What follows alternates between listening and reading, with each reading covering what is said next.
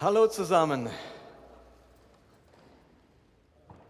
Wir haben heute wirklich einen lang ersehnten Gottesdienst. Wir haben das immer wieder gemacht als Gemeinde, der Moment, wo wir uns gegenseitig Wertschätzung ausdrücken möchten. Und das hat was damit zu tun, dass wir alle Werkzeuge des Himmels sind. Ich möchte erst zu dem Thema predigen, dann haben wir so einen Dankesmoment und wie Nina das gesagt hat, dann kommt nochmal eine Zeit, wo wir unseren Dank auch Gott bringen.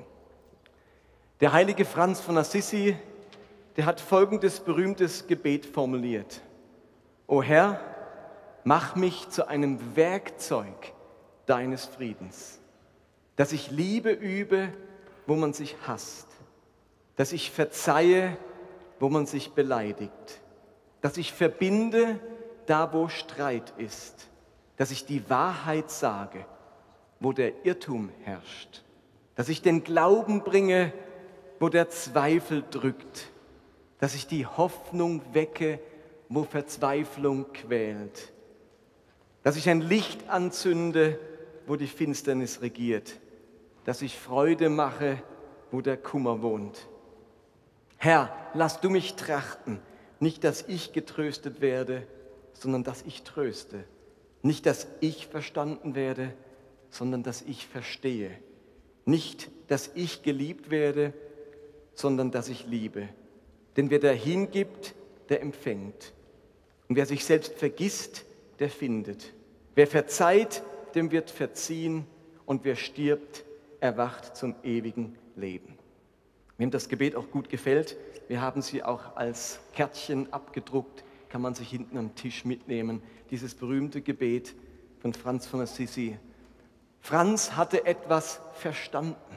Mache mich zum Werkzeug deines Friedens. Er war ein Werkzeug Gottes, das hatte er kapiert.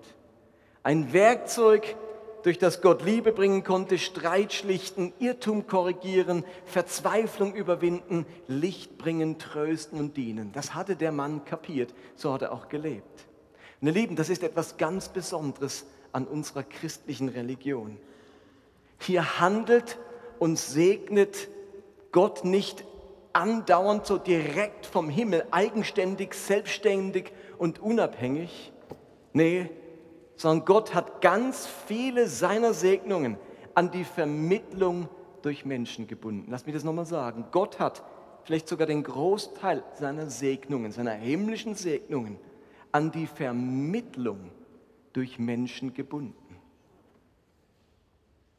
Bei den antiken Gottheiten, als das Neue Testament geschrieben wurde, Zeus, Jupiter, Mars, Aphrodite und so weiter, da handelten vielmals diese Götter direkt vom Himmel oder durch sogenannte Götterboten.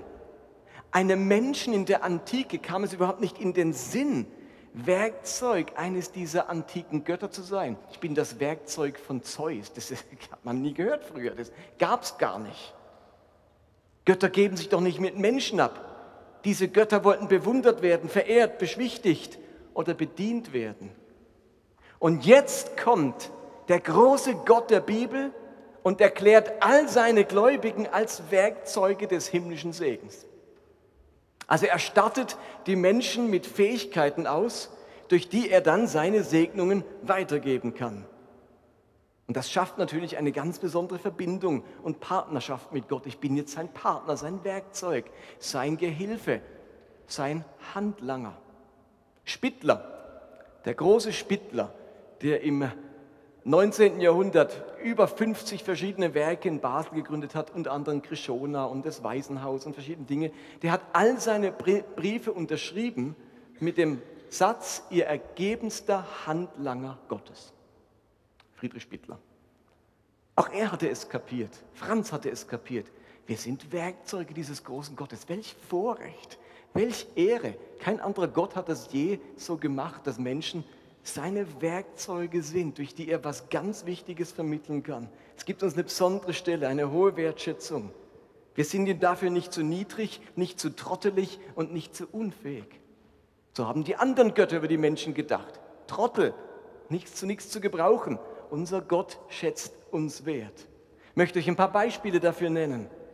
Dieser Gott konnte einen alten Nomaden namens Abraham rufen, ihm erscheinen und sagen, Genesis 12 Abvers 2, von dir wird ein großes Volk abstammen. Ich will dich segnen und du sollst in der ganzen Welt bekannt sein. Ich will dich zum Segen für andere machen.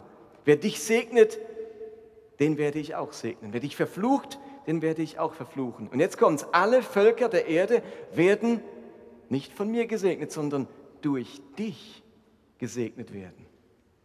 Da wird ein Mensch auserwählt, der bisher in seiner Umgebung eher verachtet wurde aufgrund, aufgrund seiner Kinderlosigkeit, war ganz schwierig im Altertum.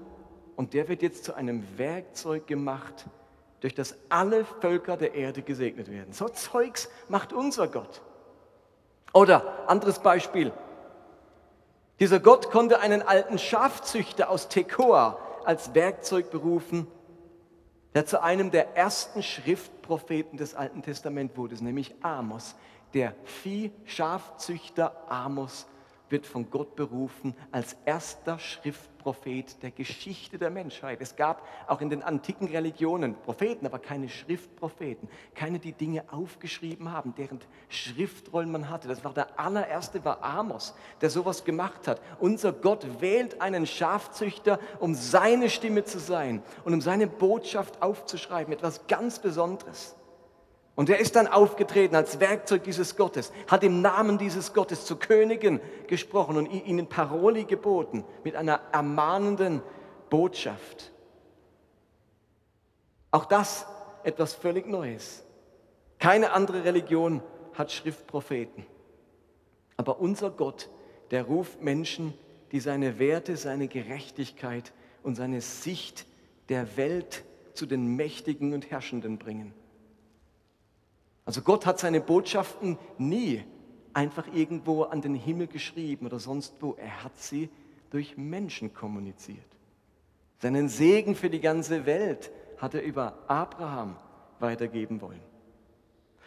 Und jetzt entscheidet sich Gott, den größten Segen, den er hat, den allergrößten Segen, nämlich die Erlösung der gesamten Menschheit vom Himmel auf die Erde zu bringen. Das ist jetzt seine Idee. Ich bringe die gesamte Erlösung oder die Erlösung für die ganze Menschheit von dem Himmel auf die Erde. Er will die Schuld der Menschen vergeben. Er will ihr ewiges Schicksal verändern, eine große Versöhnung mit den Menschen schaffen. Also der ultimative Segen des Himmels.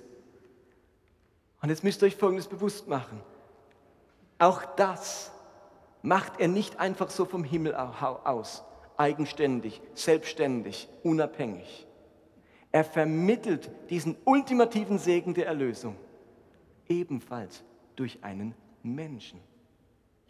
Gott hat seinen himmlischen Segen so sehr an die Vermittlung durch Menschen aus Fleisch und Blut geknüpft, dass er sogar für die Erlösung selbst ein Mensch werden musste, um sie den Menschen zu bringen.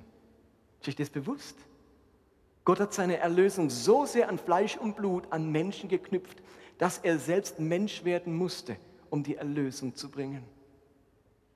Er hätte sagen können, ja gut, alles andere können wir schon die Menschen machen lassen, aber das, das muss jetzt direkt vom Himmel geschehen. Nein, er lässt es einen Menschen tun und lässt diesen Menschen geboren werden, aufwachsen, ein Mensch aus Fleisch und Blut. Paulus hat das wunderbar begriffen, wenn er schreibt in 1 Timotheus 2, Vers 4. Denn Gott will, dass alle Menschen gerettet werden und seine Wahrheit erkennen. Es gibt nur einen einzigen Gott und nur einen einzigen, der zwischen Gott und den Menschen vermittelt und Frieden schafft. Das ist der Mensch Jesus Christus, schreibt Paulus da. Anthropos schreibt er griechisch, der Mensch Jesus Christus. Also hier steht ganz bewusst Mensch Jesus Christus. Paulus schreibt nicht einfach, es gibt nur einen Vermittler, das ist Jesus Christus. Nein, der Mensch Jesus Christus, weil Gott seinen Segen eben durch Menschen vermittelt, auch wenn er selbst dazu Mensch werden muss. So bedeutsam sind Menschen, damit der Segen des Himmels auf die Erde kommt. So bedeutsam sind Menschen, dass Gott von sich selbst keine Ausnahme macht. Das ist eines der Geheimnisse der sogenannten Inkarnation, der Menschwerdung Gottes. Gott erlöst, befreit, erneuert, tröstet, vergibt in der Gestalt eines Menschen. Und er macht eben dadurch deutlich, dass himmlischer Segen und irdische Menschen kein Widerspruch sind. Gott wählt einen irdischen Körper aus Fleisch und Blut, um den Segen des Himmels auf die Erde zu bringen.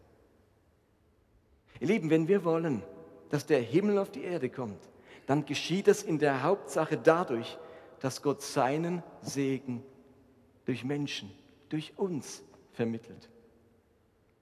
Und wenn ich das noch konkretisiere, dann geschieht es, indem Gott seinen himmlischen Segen durch seine Kinder also uns Christen weitervermittelt. Wir alle sind Werkzeuge des Himmels, wenn wir zu diesem Christus und zu diesem Gott gehören. Und dazu gibt es jetzt sogar noch eine Steigerung im Neuen Testament. Also Jesus ist die, der Mensch Jesus ist die Inkarnation, also die Menschwerdung Gottes. Der Mensch Jesus macht sichtbar, wie man Gott erleben kann, wie er wirksam ist und wie er handelt. Gott wird in Jesus, in dem Menschen sichtbar handelnd. Jetzt lebt aber dieser Jesus ja nicht ewig auf der Welt. Irgendwann ist er gestorben, auferstanden und wieder zurück im Himmel, dessen Werkzeug er ja war. Und nun geschieht etwas Bemerkenswertes. Dieser auferstandene Jesus will trotzdem auf dieser Welt sichtbar, erlebbar, wirksam und handelnd sein.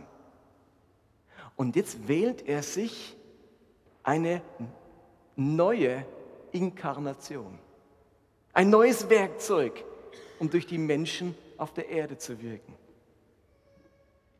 Und er nennt das die Gemeinde, seinen Leib, seinen Körper. Und die einzelnen Christen sind eben Glieder, Körperteile dieses Leibes. Also wenn Jesus die Menschwerdung die Inkarnation des himmlischen Vaters war, er jetzt aber wieder weg ist, dann ist nun die Gemeinde und der einzelne Christ die Inkarnation des himmlischen Vaters. Versteht ihr das? Wenn Jesus die Sichtbarmachung Gottes war, durch, in Fleisch und Blut konnte man plötzlich Gott sehen, wie er handelt, wie er wirkt, wie er liebt, wie er verzeiht, konnte man in Jesus sehen. Jetzt ist aber Jesus weg. Und jetzt sagt Jesus, Edge ich bin doch nicht weg, ich habe immer noch einen Körper aus Fleisch und Blut hier. Ich habe immer noch einen Leib. Und das ist die Gemeinde. Das sind wir als Glieder. Wir sind jetzt die Fortsetzung des Leibes Christi, der zum Ausdruck bringt, Gott handelt durch Menschen. Wunderschön wird das ebenfalls von Paulus im Römerbrief beschrieben. Römer 12 schreibt er, unser Körper besteht aus vielen Teilen, die ganz unterschiedliche Aufgaben haben. Ebenso ist es mit uns Christen. Gemeinsam bilden wir alle den Leib Christi. Gemeinsam bilden wir alle den Leib Christi. Und jeder Einzelne ist auf den anderen angewiesen. Gott hat jedem von uns unterschiedliche Gaben geschenkt. Also Paulus bringt hier genau diese Analogie. Alle Christen bilden zusammen den Leib Christi, also den Körper von Jesus. Und dieser Leib Christi war eben die Menschwerdung Gottes. Durch diesen Menschen hat Gott den ultimativen Segen des Himmels in die Welt gebracht. Und nachdem Christus auferstanden ist, bleiben wir Christen als sein Leib auf dieser Welt zurück und vermitteln weiterhin den Segen des Himmels an die Menschen um uns herum. So etwas gibt es in keiner anderen antiken Religion. Da war das Christentum etwas Einzigartiges. Menschen als Werkzeuge Gottes, als Segensvermittler. Welch eine Stellung, welch eine Bedeutung, welch eine Verantwortung. Das gab es nirgends. Das Christentum war in so vieler Hinsicht revolutionär. Was dieser Gott gemacht hat, das war außergewöhnlich. Alle anderen Götter, die haben voneinander abgeguckt. Man wollte ja nicht aus der Reihe tanzen. Und es kommt dieser Gott, Jahwe, Jesus, und tanzt völlig aus der Reihe. Man hat sich gedacht, sowas macht ein Gott, ein anständiger Gott gar nicht. Deswegen gibt es den gar nicht. Und deswegen sind Christen Atheisten. Das konnte man sich gar nicht vorstellen, dass ein Gott so verbunden ist mit seinen Kindern. Okay, und wie bei einem menschlichen Körper haben auch all die Glieder am Leib Christi unterschiedliche Gaben und Aufgaben. Ich lese, oder in, in dem gleichen Kapitel Römer 12 zählt Paulus dann beispielhaft einige dieser ähm, Aufgaben der Glieder auf. Und der Überbegriff für diese ähm, Gaben ist griechisch Charisma. Das ist also kein Auto von Mitsubishi, sondern es ist ein griechisches Wort, das Gnadengeschenk heißt. Wir übersetzen es meist mit Gnadengaben. Aber ich glaube, dass diese Übersetzung zu kurz greift. Mit Charisma denken wir zu schnell an eine ganz besondere Begabung, eine speziell vom Geist geschenkte Fähigkeit. Und wenn ich dann diese Geistesgabe nicht geschenkt bekommen habe, dann bin ich scheinbar zur Tatenlosigkeit verdammt. Ich habe keine Gabe. Habe ich nicht. Bin ich irgendwie zur Tatenlosigkeit verdammt. Aber ihr Lieben, ich glaube, Charisma ist nicht nur Geistesgabe, sondern vor allem Geistesaufgabe. Das war jetzt mein wichtigster Satz in der Predigt. Jetzt kommen gerade die Kinder rein, also hört nochmal gut zu. Haben wir den Satz irgendwo? Ne, wir haben nur die Bibelstelle. Charisma, das ist nicht nur Geistesgabe, sondern vor allem Geistesaufgabe. Hallo, hier vorne bin ich. Geistesaufgabe. Ich bekomme vom Geist nicht in erster Linie eine Gabe, sondern eine Aufgabe. Es ist Ausdruck eben seiner Gnade. Eben das Wort Charis heißt Gnade, dass ich eine Aufgabe von Gott bekomme, mit der er durch mich wirksam ist und durch mich dann sichtbar wird, dass er, mich handelt, dass er durch mich handelt und den Segen des Himmels auf die Erde bringt. Lese euch noch mal ein paar Verse aus Römer 12 vor. Paul, das haben wir jetzt wieder auf der Leinwand. Vers 6. Gott hat jedem von uns unterschiedliche Gaben geschenkt. Hat jemand eine Gabe, in Gottes Auftrag prophetisch zu reden, dann muss, er dies, dann muss dies mit der Lehre unseres Glaubens übereinstimmen. Wem Gott einen praktischen Dienst übertragen hat, der soll ihn, in gewissen, der soll ihn gewissenhaft ausführen. Wer die Gemeinde im Glauben unterweist, soll diesem Auftrag gerecht werden. Wer andere ermutigen kann, der nütze diese Gabe. Wer beauftragt ist, die Armen zu versorgen, soll das gerecht und unparteiisch tun. Wer eine Gemeinde zu leiten hat, der setze sich ganz für sie ein. Wer Kranke und Alte zu pflegen hat, der soll es gern tun. Zählen wir die Dinge nochmal auf, die Paulus hier beispielhaft bringt. Prophetisch reden, einen praktischen Dienst ausüben, im Glauben unterweisen, andere ermutigen, Arme versorgen, die Gemeinde leiten, Kranke pflegen. Das zählt Paulus so beispielhaft auf. Und diese, da kommt dieser Gott Israels und macht es Menschen eben zu seinen Werkzeugen. Er überträgt ihnen himmlische Aufgaben, nicht nur Gaben. Das klingt ja ganz stark nach Aufgaben. Merkt ihr das, diese Dinge, die ich gerade aufgezählt habe? Er nimmt ihr Leben und vermittelt dadurch himmlischen, göttlichen Segen. Diese Aufgaben, das sind Charismen, das sind Gnadengeschenke. Denn nur ein gnädiger Gott lässt sich auf Menschen als Werkzeuge ein. Es ist Ausdruck seiner Gnade, dass er uns Aufgaben gibt. Und so oft fragen sich Christen, wenn ich nur wüsste, was meine Gabe ist. Anstatt dessen lautet die viel wichtigere Frage, ich möchte wissen, was meine Aufgabe ist. Im Deutschen ist das so ein schönes Wortspiel, Gabe und Aufgabe. Ich möchte wissen, wie Gott durch mich den Himmel auf die Erde bringen will. Ihr Lieben, wenn ich nicht nach Gabe, sondern nach Aufgabe frage, dann geht es plötzlich weniger um mich und um meine Fähigkeiten und vielmehr um Gott und seine Absichten. Wenn ich frage, was kann ich für dich tun, bin ich an den Aufträgen, an den Nöten des anderen interessiert. Wenn ich frage, was ist meine Gabe, bin ich ganz stark an meiner Verwirklichung interessiert. Und dazu ist manchmal die Charismatik eine Versuchung. Es geht um meine Gabe, um meine Förderung, um meine Verwirklichung und zu wenig darum, Gott, hier bin ich, sende mich, was ist dein Auftrag?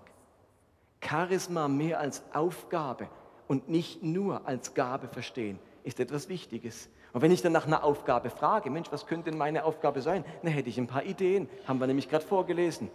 Einen praktischen Dienst ausüben. Ist doch keine Geistesgabe, es ist eine Geistesaufgabe. Im Glauben unterweisen, andere ermutigen, Arme versorgen, etwas leiten, Kranke pflegen. Das sind ganz viele Gottes- und Geistesaufgaben. Und ihr Lieben, es kann gut sein, dass meine Aufgabe optimal unterstützt wird von meiner Gabe, von meinen speziellen Fähigkeiten. Wunderbar, wenn meine Aufgabe optimal unterstützt wird von meinen Fähigkeiten und Geistesgaben. Aber es ist auch gut möglich, dass meine Aufgabe weniger meine spezifischen Fähigkeiten und Gaben braucht, als einfach nur meinen Fleiß, meine Ausdauer, meine Treue, meine Verbindlichkeit und meine Hingabe. Den Satz habt ihr jetzt auf eurem Zettel, den könnt ihr vervollständigen. Den wichtigsten Satz, den ihr vielleicht mitnehmen solltet heute. Für die Aufgabe Gottes braucht es nicht immer eine Gabe, aber immer Hingabe. Für die Aufgabe Gottes braucht es nicht immer eine Gabe, aber immer Hingabe. Und wenn du sagst, ja, ich habe aber keine Gabe, dann hat es immer noch genug Aufgaben und du hast immer noch Hingabe. Das hat jeder von uns, das kann jeder von uns, wenn er möchte. Selbst wenn ich jetzt keine spezifische Gabe mir bewusst bin. Damit ich aber meine Gaben rausfinde, damit ich nicht nur eine Aufgabe habe, sondern auch noch meine Gaben kennenlerne, bietet der Michel mit einem Team ein Dienstseminar an. Das Dienstseminar geht, glaube ich, drei Abende. Einladungsflyer habt ihr heute bekommen. Da geht es darum, dass ich meine Gabe und Aufgabe im Reich Gottes entdecken kann. Und das ist ein Fortbildungsangebot hier der Vineyard, wo wir euch herzlich dazu einladen, wenn du rausfinden willst, was ist denn meine Gabe und was ist meine Aufgabe. Deswegen guckt euch das Prospekt doch nachher mal an. Also, die, für die Aufgabe Gottes braucht es nicht immer eine Gabe, aber immer Hingabe. Und zu guter Letzt hat dieser Leib Christi der den Segen des Himmels auf die Erde bringt, noch eine, etwas ganz Besonderes an sich. Er funktioniert nämlich ganz anders wie die Welt, besonders wie die Geschäftswelt oder die Wirtschaftswelt. Paulus beschreibt diesen Leib im Korintherbrief etwas genauer und dann merken wir, wie anders er ist, wie andere ähm, Dinge, wo etwas vermitteln an, an, an, äh, an Werken oder an Gütern oder so. 1. Korinther 12, da heißt es, ein menschlicher Körper besteht ja auch nicht nur aus einem Teil, sondern aus vielen. Das Auge kann doch nicht zur Hand sagen, ich brauche dich nicht. Und der Kopf nicht zu den Füßen, ich verzichte auf euch. Im Gegenteil. Und jetzt kommt's. Wie dieser Leib, dieser ganz besondere Leib, der Vermittler von himmlischen Segen auf, er auf die Erde, wie der funktioniert. Nämlich im Gegenteil. Gerade die scheinbar schwächeren Glieder des Körpers sind unentbehrlich. Die unansehnlichen kleiden wir mit größter größerer Sorgfalt und die, deren wir uns schämen, mit besonderem Anstand. Gott hat den Leib so zusammengefügt, dass die geringeren Teile besonders geehrt werden. Denn er wollte keine Spaltung im Körper. Alle Glieder sollen einträchtig füreinander sorgen. Wenn ein Glied leidet, leiden alle anderen mit. Und wenn eines besonders geehrt wird, freuen sich die anderen mit. Zusammen seid ihr der Leib von Christus und einzeln genommen Glieder davon. Also in diesem Leib Christi ist jetzt jeder wichtig. In diesem Leib, Leib gilt nicht das Recht des Stärkeren. In diesem Leib herrscht nicht Wettbewerbsgesellschaft. Auch der Schwache, auch der Zerbrochene, der, der sich minderwertig fühlt, darf ein Werkzeug dieses Gottes sein. Das ist die Kultur des Himmels. Auch der Schwache und Zerbrochene darf ein Werkzeug des Himmels sein. Antike Götter haben sich nicht schon gar nicht, wenn sie sich auf Menschen eingelassen haben, dann auf die Mächtigen, die Könige. Das waren dann vielleicht noch irgendwie ihre Ansprechpartner, aber doch nicht zerbrochene Menschen. Mit denen will man schon gar, gar nichts zu tun haben als antiker Gott. Und jetzt kommt wieder unser Gott und gebraucht nicht nur Menschen als Werkzeuge, sondern gerade die Menschen, die sich wenig zutrauen, die sich bisher nicht so viel leisten konnten, die gering sind und vielleicht mit wenigen Fähigkeiten ausgestattet. Und das übertrifft jetzt alles. Da ist ein Gott, der auf der Seite der Schwachen und Zerbrochenen steht, auf der Seite der an den Rand gedrängten und der Übersehenen. Gott der Könige, Gott der Herrscher und der Starken und der Reichen, das will ja jeder Gott sein. Aber ein Gott der Schwachen, der Elenden, der Armen und denen auch noch göttliche Aufgaben übertragen. Welcher Gott will das schon? Außer dem unseren. Und Gott freut sich über jeden, der seine himmlischen Aufgaben mit oder ohne himmlischer Gabe und mit großer Hingabe erfüllt. Gott ist stolz auf alle seine Werkzeuge. Gott freut sich über seine Werkzeuge.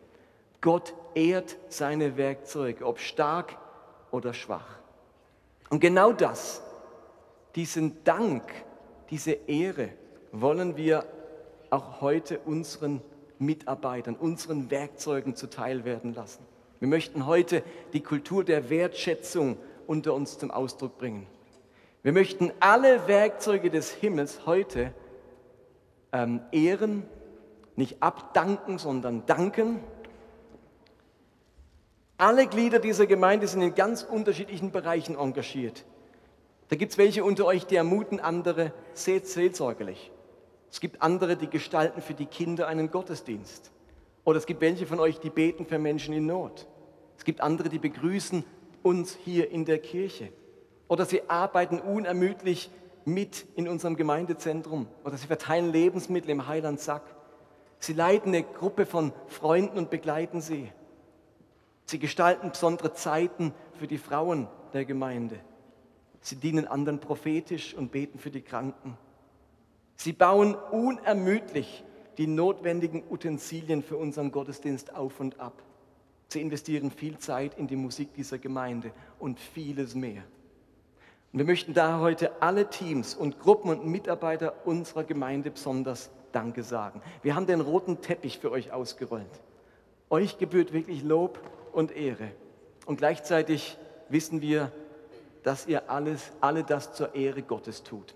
Wir haben uns überlegt, was wir euch schenken könnten. Und wir haben uns entschieden, euch einen Schirm zu schenken. Zum einen ist auf dem Schirm genau das abgedruckt, was auf unserem Bändel steht. Die vier Symbole. Mein Bändel ist verkehrt rum. Die vier Symbole. Unterwegs zu den Menschen mit Werken, Worten und Wundern unterwegs zu den Menschen. Und ihr wisst ja alle, also zu Hause braucht man keinen Schirm. Spannt von euch jemand zu Hause einen Schirm auf? Also höchstens, wenn man das Dach reparieren müsste. Ein Schirm braucht man, wenn man unterwegs ist, nicht zu Hause. Und deswegen ist der Schirm ein Symbol für das Unterwegssein. Natürlich nur, wenn es regnet, ist mir schon klar. Aber nur wenn man unterwegs ist, braucht man einen Schirm. Zu Hause nicht. Und darum ist dieser Schirm ein Symbol für das, was uns so wichtig geworden ist unterwegs zu den Menschen zu sein, mit Worten, Werken und Wundern. Und ihr werdet jetzt in der kommenden Saison, jetzt Herbst und Winter, den Schirm wahrscheinlich öfters gebrauchen. Und dann spannt er ihn auf und dann seht ihr die vier Symbole und denkt dran, jetzt bin ich gerade unterwegs von A nach B. Vielleicht begegne ich einem Menschen des Friedens, dem ich den Segen des Himmels vermitteln kann, vielleicht durch Worte oder durch gute Werke oder durch ein Gebet, das ein Wunder bewirkt. Dieser Schirm soll euch daran erinnern und ist gleichzeitig nur eine symbolische und kleine Geste unserer Dankbarkeit. Und wie es jetzt weitergeht, wie wir euch danken, das übernehmen unsere charmanten Moderatorinnen Nina und Dora.